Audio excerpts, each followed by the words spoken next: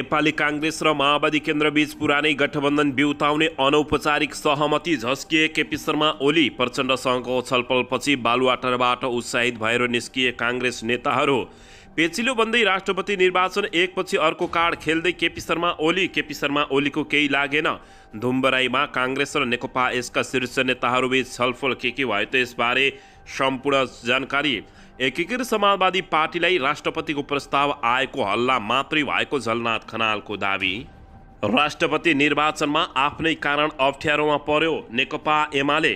सत्ता साझेदार दलको उम्मेद्वार नै साझा उम्मेद्वार हुने नेकपा एमालेका नेताहरूको अझै पनि ठोकुवा। प्रधानमन्त्री भइसकेकाहरू राष्ट्रपति उम्मेद्वार बन्नु हुँदैन भन्दै विश्वप्रकाश शर्माको टिप्पणी। राजा ज्ञानेन्द्र शाहका गतिविधिले तरङ्गित राजनीतिक राजावादी र गणतन्त्रवादीको सांसदमा जैलले नोकझोक। महन्त ठाकुरलाई राष्ट्रपतिको उम्मेद्वार बनाउन काङ्ग्रेसलाई लोसपाका नेताहरूको प्रस्ताव।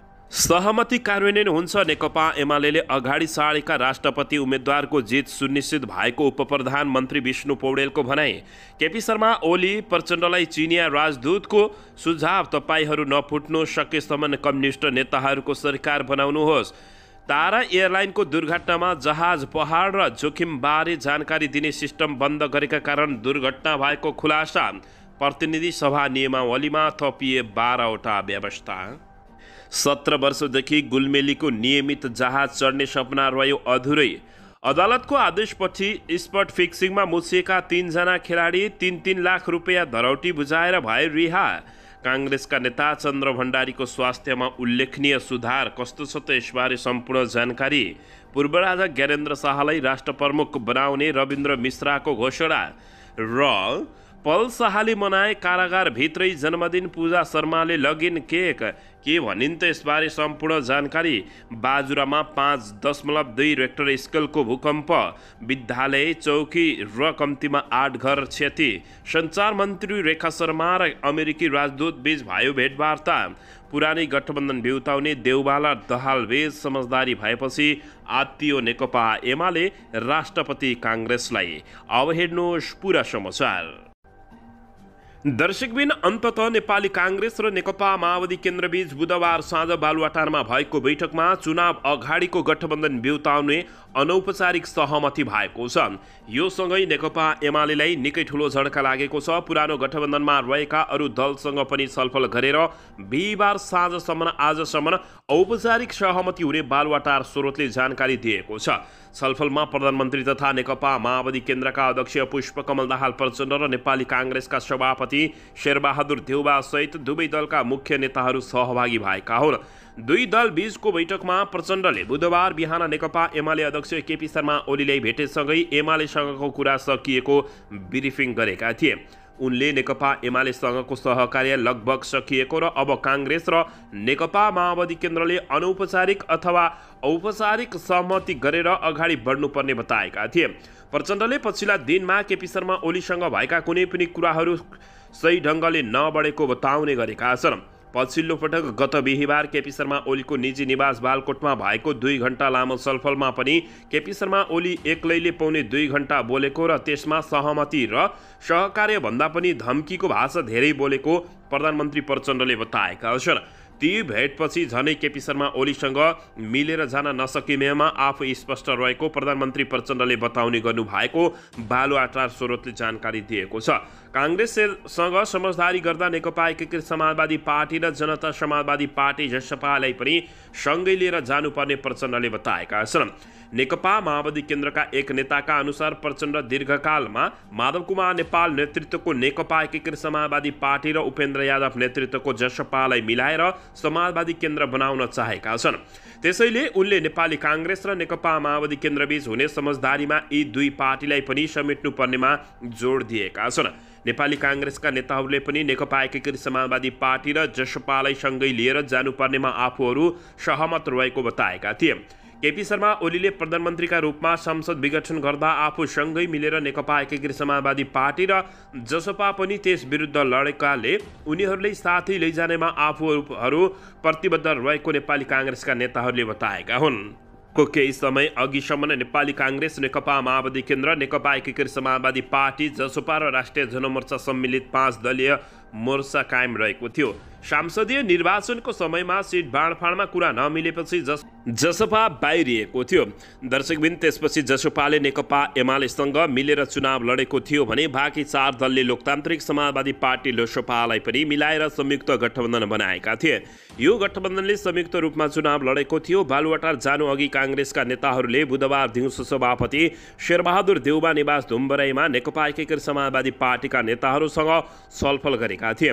उक्त छलफलमा नेकपा एकीकृत समाजवादी पार्टीका अध्यक्ष माधव कुमार नेपालले नयाँ बन्ने गठबन्धनमा पार्टीको सम्मानजनक स्थान हुनुपर्ने र आफूलाई राष्ट्रपति बन्न साथीहरूले आग्रह गरिरहेको बताएका थिए।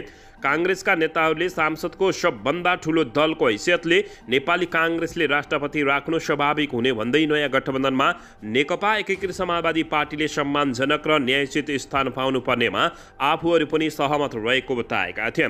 यसैबीच बिहिबार थप छलफल गरेर टुङ्गोमा पुग्ने भन्दै काङ्ग्रेस र नेकपा एकीकृत समाजवादी पार्टीको छलफल सकिएको हो। दर्शकबिन नेकपा एकीकृत समाजवादी पार्टीका एक नेताले एमालेसँग मिलेर जाने प्रसङ्ग सकिएको र काङ्ग्रेस माओवादीसँगै सहमतिमा पुग्ने विश्वास आफूले राखेको जानकारी दिएका छन्। हाम्रो धारणा अझै पनि अध्यक्ष माधव कुमार नेपाललाई राष्ट्रपति बनाएर जाउँ भन्ने छ। काङ्ग्रेसले आजको छलफलमा केही समयका लागि नेकपा एकीकृत समाजवादी पार्टीले सरकारको नेतृत्व गर्न सक्ने गरी मिलेर जान सक्ने सङ्केत गरेको छ। बिहिबार साँझसम्म टुङ्गो लाग्छ होला ती नेताले भने बालुवाटारमा नेपाली काङ्ग्रेस र नेकपा माओवादी केन्द्र बीचको बैठक पनि नेकपा एकीकृत समाजवादी पार्टीका अध्यक्ष माधव कुमार नेपालले पावर सेयरिङमा कसरी मिलाएर जान्ने भन्नेमा बारे छलफल भएको बताइएको छ माधव कुमार नेपाललाई पनि आगामी पाँच वर्षभित्र कुनै निश्चित समय अवधिमा प्रधानमन्त्री बनाउनेमा दुवै दल सहमत रहेको बालुवाटार स्रोतले जानकारी दिएको छ को को कति समयसम्म प्रधानमन्त्री रहने भन्ने प्रचण्ड र देउबाले माधव कुमार नेपालसँग छलफल गरेर टुङ्ग्याउने सहमति भएको उज्जिएको छ। बुधबार साँझ पनि त्यही छलफलका बीच देउबा र प्रचण्ड केही समय छुट्टै बसेर कुराकानी गरेको जानकारी प्राप्त भएको छ।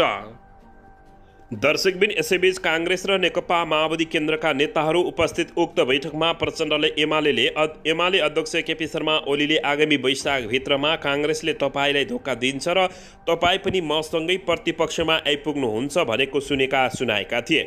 साथै केपी शर्मा ओलीले माधव कुमार नेपाललाई राष्ट्रपति बन्न आफूले प्रस्ताव नगरेको भन्दै बाहिरका हल्लामा नलाग्न भनेको पनि प्रचण्डले बैठकमा सुनाएका हुन्। काङ्ग्रेसका नेताहरूले चुनाव अघिका दलहरू मिलेर बिउताउने गठबन्धन पाँच वर्षसम्म कायम राख्न आफूहरू प्रतिबद्ध रहेको बताउँदै त्यसमा तलमाथि नहुने आश्वासन प्रचण्डलाई दिएका हुन्। पुरानो गठबन्धन बिउताने अनौपचारिक सहमतिसहित नेपाली काङ्ग्रेस र नेकपा माओवादी केन्द्रबीच बुधबारको छलफल सकिएको थियो।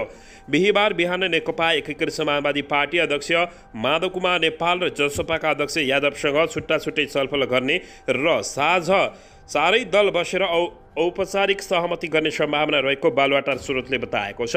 यस यसरी नयाँ बन्ने गठबन्धनमा अरू ससाना दललाई पनि सहभागी गराउने बारे समेत छलफल दर्शकबिन यसैबीच यता उप प्रधानमन्त्री तथा अर्थमन्त्री विष्णु पौडेलले सत्ता गठबन्धन दलकै तर्फबाट नेकपा एमाले अगाडि सारेका उम्मेद्वार नै राष्ट्रपति निर्वाचनमा विजय हुने दावी गरेका छन्।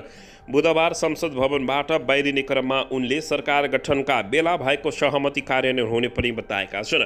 यो सरकार जुन पृष्ठभूमिमा बन्यो र त्यति बेला जे सहमति बनेको छ त्यो सहमति नै नेकपा एमालेका तर्फबाट राष्ट्रपतिमा अगाडि सारिने उम्मेद्वारको जितको आधार हो नेकपा एमाले उपाध्यक्ष समेत रहेका पौडेलले भनेका छन्।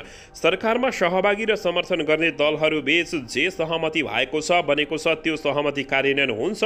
नेकपा एमालेका तर्फबाट अगाडि सारिएका राष्ट्रपतिका उम्मेद्वारहरूले शानदार ढङ्गले जित हासिल गर्नुहुन्छ भनेर भनेका छन्।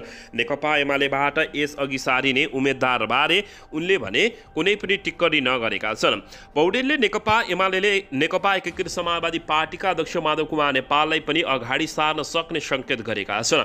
नेकपा एमालेका अध्यक्ष केपी शर्मा ओलीले एकीकृत समाजवादी पार्टीका अध्यक्ष माधव कुमार नेपाल बिचको तिताक्तपूर्ण सम्बन्धबारे सोधिएको प्रश्नमा भने उनले कुनै पनि बेला नेता वा पार्टीका सम्बन्धमा उकाली ओह्राली देखा पर्न सक्ने बताएका छन्। तर मुलुकको अवस्था परिस्थिति र साझा राष्ट्रिय अभिभाराले एक ठाउँमा खडा पनि गर्न सक्छ। तपाईँहरूले नेताहरूबिच जे दूरी नापी रहनु भएको छ यथार्थमा त्यो दूरी नभएको उनले बताएका छन्।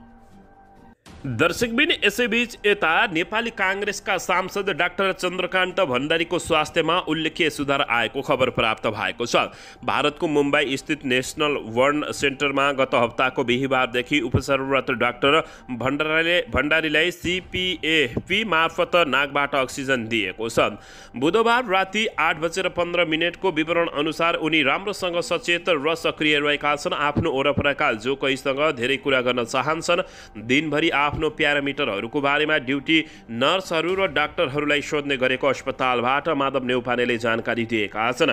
उनले मङ्गलबारदेखि नै मुखबाट तरल आहार खान थालेका छन्। उच्च इन्फेक्सन नहोला नहोस् भनेर भेटघाट गर्न अस्पतालले दिएको छैन। अन्य स्वास्थ्य पारामिटर नर्मल रहेको नेउपानेले जानकारी दिएका छन्। दर्शक महानुभावहरू गत हप्ता बुधबार राति ग्यास सिलिन्डर लिक हुँदा आगलागीमा परि गम्भीर घाइते भएका भण्डारीको बिहिबारदेखि मुम्बईमा उपचार भइरहेको छ। सो दुर्घटनामा परेकी उनकी आमाको भने गत हप्ताको बिहिबार नै